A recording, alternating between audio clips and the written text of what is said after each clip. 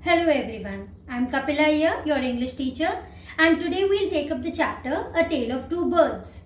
I don't have the book so I have downloaded it in my mobile. Similarly, you can also download it from the link given in the description. Now this chapter here is about two baby birds who got separated because of a storm and landed at two different places. They lived with two different kind of uh, people and that is the reason why there was change in their behavior. Let us begin with the chapter.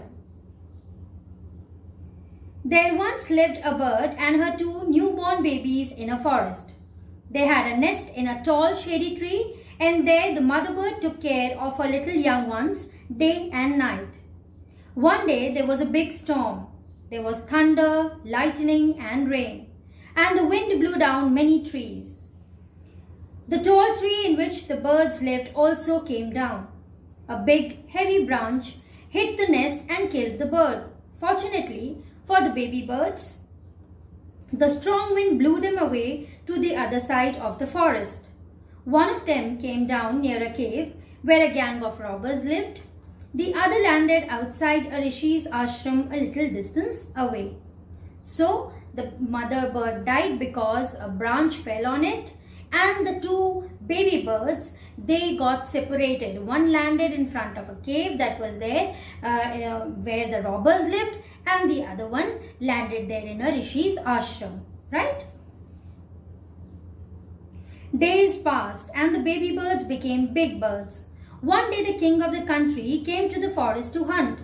He saw a deer and rode after it.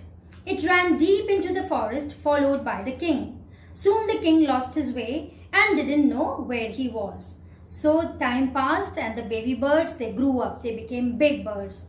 And it so happened that the king of that land also came there in the forest for hunting and following a deer. He was following a deer who got lost in the forest. He also got lost in the forest and did not know where to go and what to do. He rode on for a long time till he came to the other side of the forest.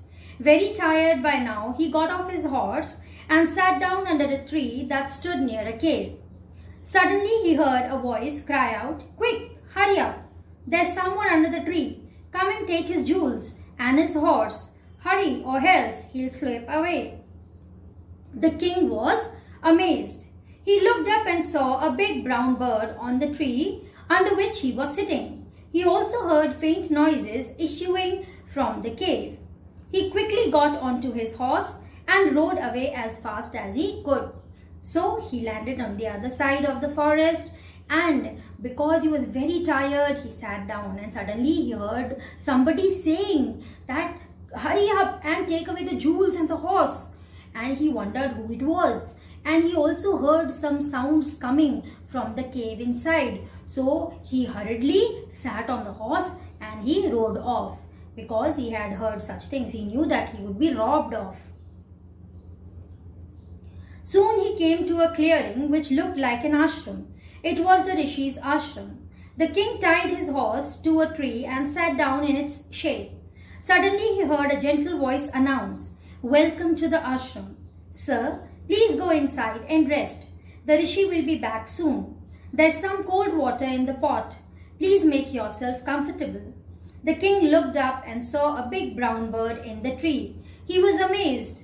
This one looks like the other bird outside the cave, he said to himself loudly. So there also he had seen that big uh, brown bird and here also again he saw the big brown bird and this time the bird welcomed him and also offered him to sit by the time the rishi would come. You're right, sir, answered the bird. He is my brother, but he has made friends with robbers. He now talks as they do. He doesn't talk to me anymore. Just then the rishi en entered the ashram. So the baby bird had grown big and this bird who was there at the rishi's ashram told the king that it was his brother only and they both had stopped talking to each other because the brother who was there with the robbers did not talk to him anymore. And because of the company of the robbers he had become so. And that moment only the rishi entered. Welcome sir he said to the king. Please come inside and make yourself at home. You look tired. Rest for a while.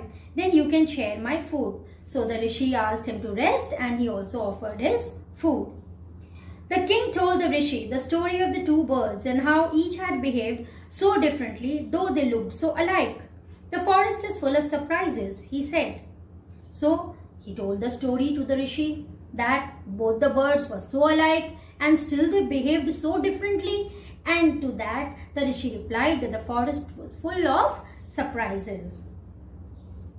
The holy man smiled and said, After all, one is known by the company one keeps. So the company that you keep, you are known by that. The people whom with you are living, that is the company. Okay, so you have to be very wise while you are choosing your company because you are known by it.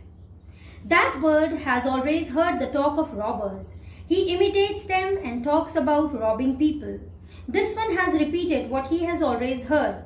He welcomes people to the ashram. Now come inside and rest.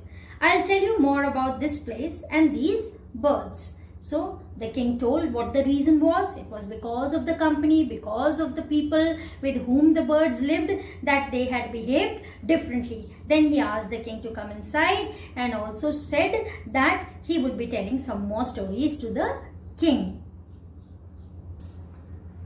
Now let us do the question answers. Question 1. How did the two baby birds get separated?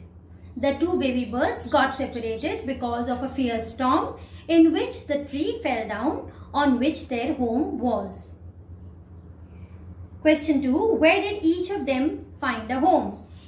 The first bird found a home there in front of a cave where the gang of robbers lived and the other bird landed in a rishi's ashram. Question 3. What did the first bird say to the stranger? The first bird told the stranger uh, that somebody needed to hurry up and come and take the jewels and the horse otherwise he would run away. What did the second bird say to him?